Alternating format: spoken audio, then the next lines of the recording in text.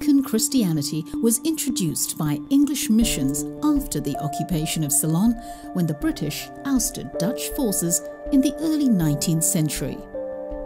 Many churches were built in Colombo and other parts of the country. While St. Peter's Church in Fort was the first Anglican church, it was a converted Dutch dwelling.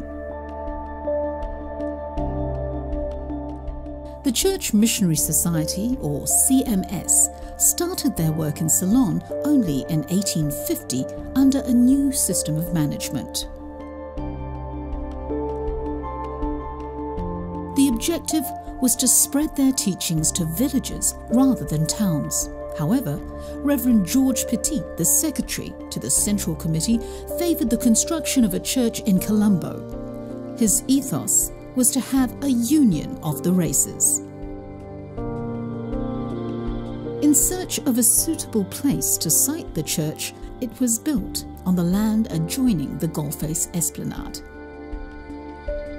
The foundation stone was laid on the 21st of January 1853 by the Bishop of Colombo, the Right Reverend Chapman. Many a splendid game of cricket was played at the site with the background of the Galle Face Esplanade and the church clearly visible in the periphery. In 1898, disaster struck and part of the wall of the old church collapsed.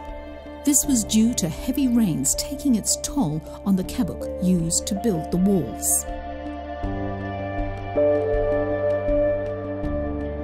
In 1898, the church was redesigned by architect W. A. Tunstall and the foundation stone laid by Reverend R. S. Copleston.